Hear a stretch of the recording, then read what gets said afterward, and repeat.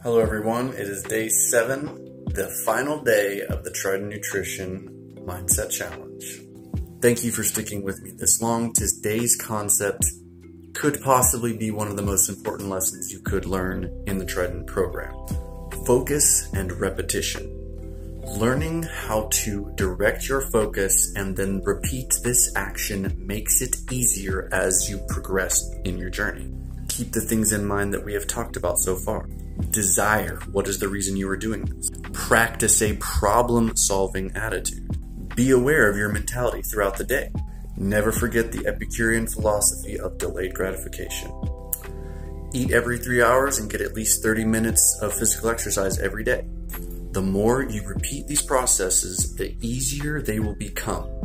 In fact, something that most people struggle with will now become second nature to you. Focus and repetition leaves no room for chance.